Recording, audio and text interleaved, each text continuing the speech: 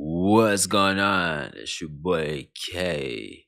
Welcome back to another uh, uh, uh, educational, uh, uh, uh, informational, documentary style video.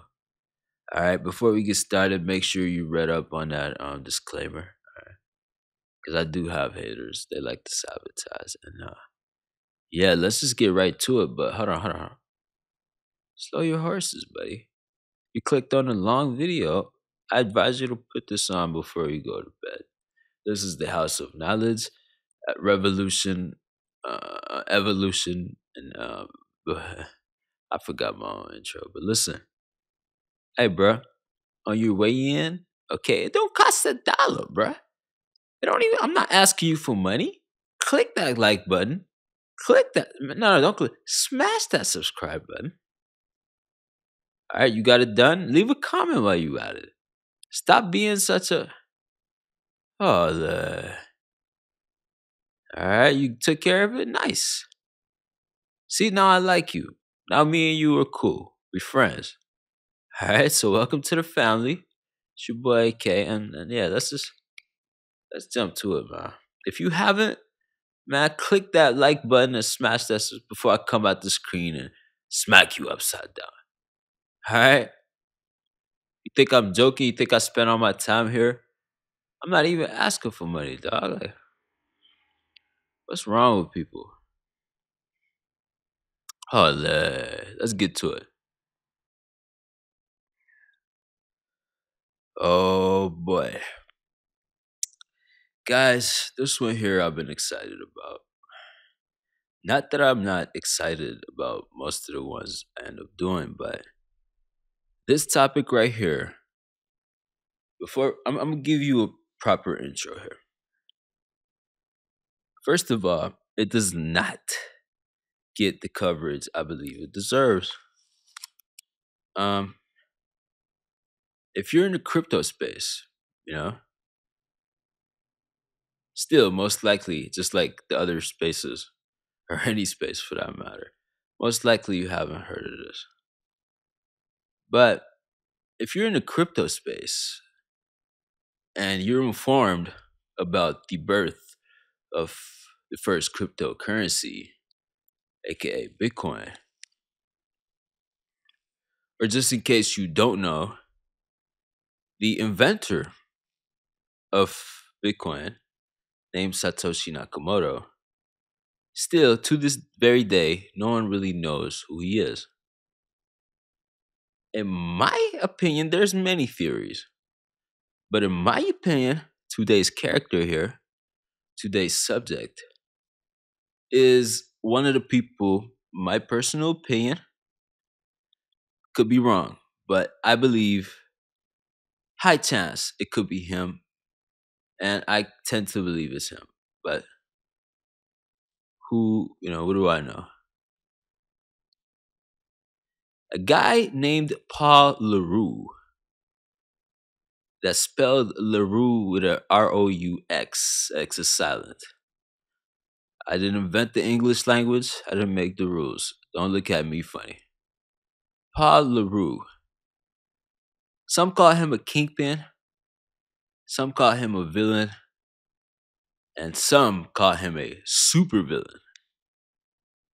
Damn. Oh.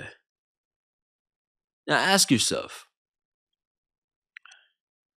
what separates a shady businessman from a criminal?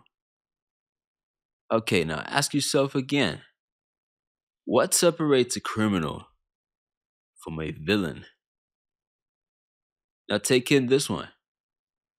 What separates a villain from a supervillain? The answer to all three of these questions can be found in today's subject, Paul Le Roux. This is a unique story. It's the story of a talented coder. Yes, coder as in software engineer. Someone who writes code. Who would become a modern day kingpin. Yes, a kingpin, like a drug kingpin. But then he will become a real life supervillain, like out of a cartoon or something. Our story starts with December 24th, 1972, in what is now Zimbabwe, Africa. He was adopted as a baby. When Robert Mugabe rose to power in 1984 and ended the rule of the white minority of Zimbabwe, Pa's family moved to South Africa.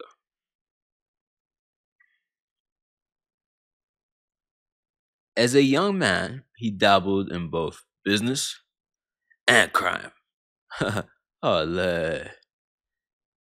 Me and him have a er, um, similar start, actually. Uh, uh, uh. So he starts selling PORN. Shout out to the YouTube team. Please don't demonetize. So he got selling that, you know, movies, all right, adult entertainment, all right. However, aside from this incident, he mostly stayed out of trouble and decided to drop out of school at the age of 16 to become a coder. Self taught. Okay? Dude was smart. Ain't no if and but about it. Ain't no doubt. He was smart. He had a genuine talent for programming. And it was evident. You know, it became evident when in 1998, you ever heard of a software called E4M? That stands for encryption for masses. Guess what? He wrote that. He single handedly developed E4M, encryption for masses, a program that I believe, not sure, it would encrypt your hard drive. Uh, uh, uh, uh, uh like let's say, actually, this this is the example I remember. I could be wrong. You could look up though. Remember Silk Road? Lay. You remember how to, in Silk Road they wanted to catch him with his laptop open? Because if he would have closed that laptop, boom, self encrypts. Using what? E4M. Now keep that in mind. We're going to come back to that. In a world that was still adapting to the internet, Pa saw the need for true privacy. He was far ahead of his time. so far ahead that E4M would be used as the base code for another encryption software released in 2004 titled TrueCrypt. You might have heard of that one, maybe not E4M.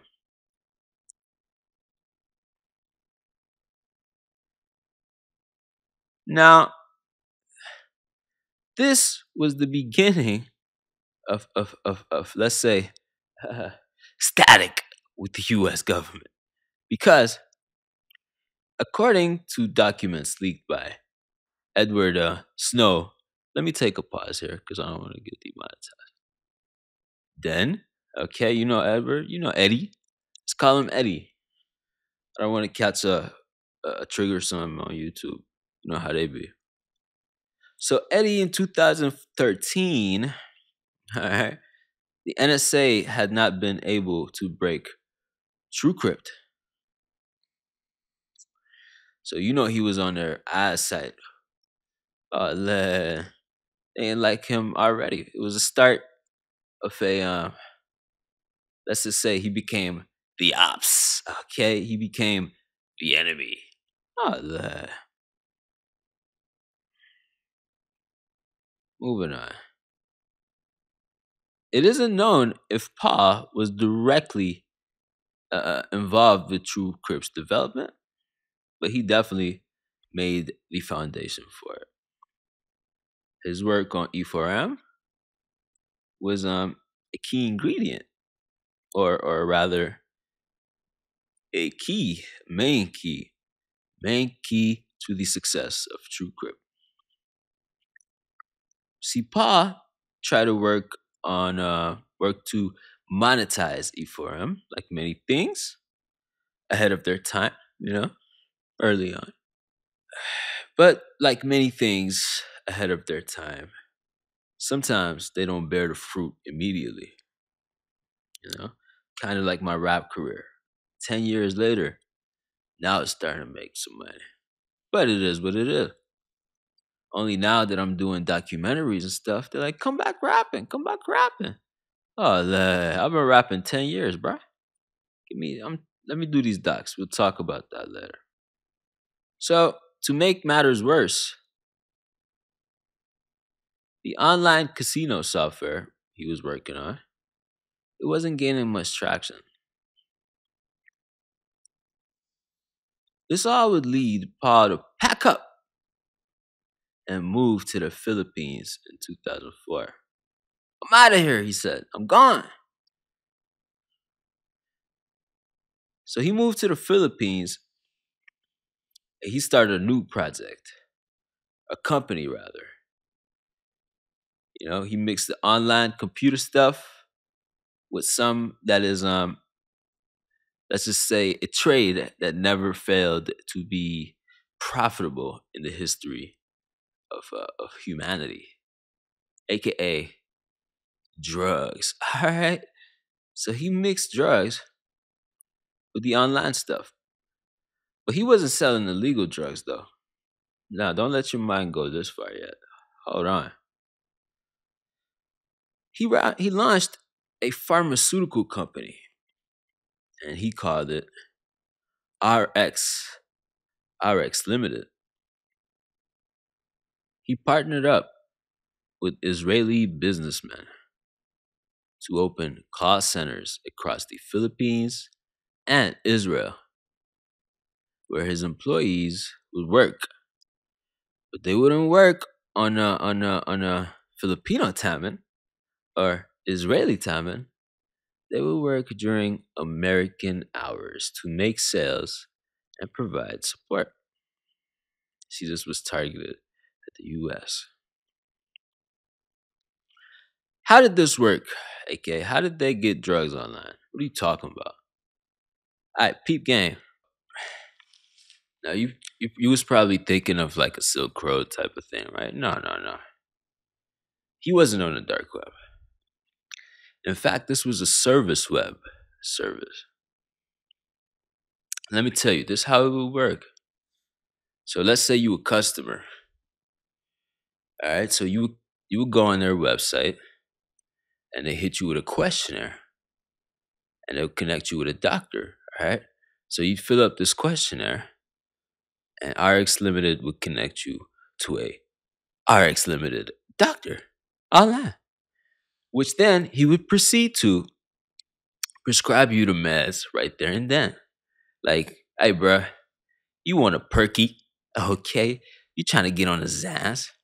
I don't recommend any of that. But back then, all you had to do was pull up to RX Limited, okay? Load that up and, and, and, and look up on the other tab, make a click new tab, okay?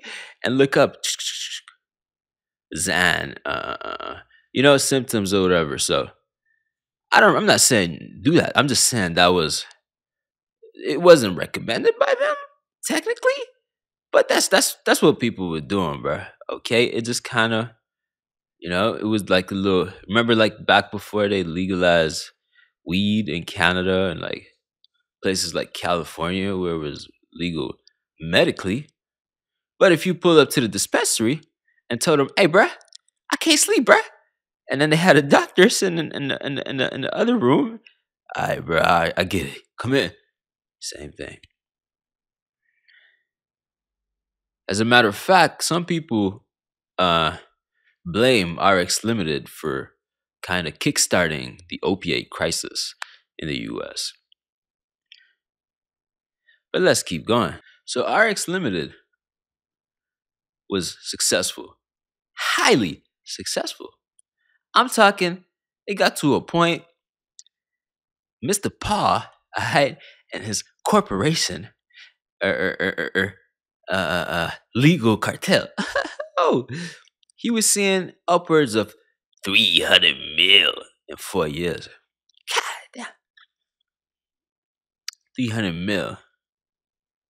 Now, that's money. In four years, that's a lot of money.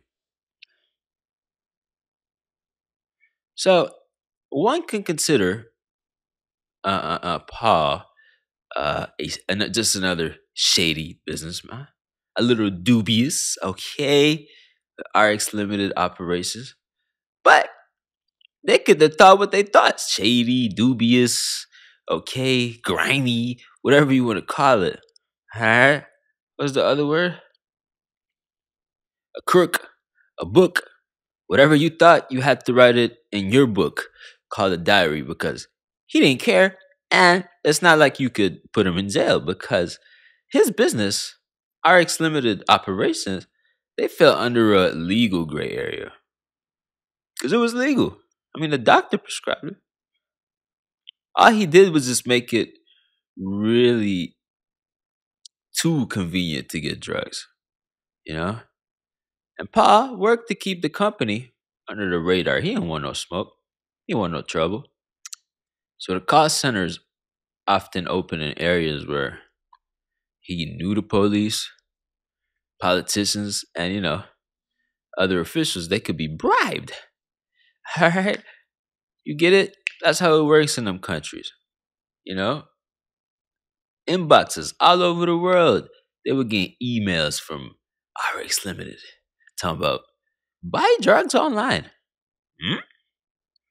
You telling me I don't gotta go to um what's his name Ashton's house every time and call him and wait four hours where he tell me, hey bro, I'm on the way.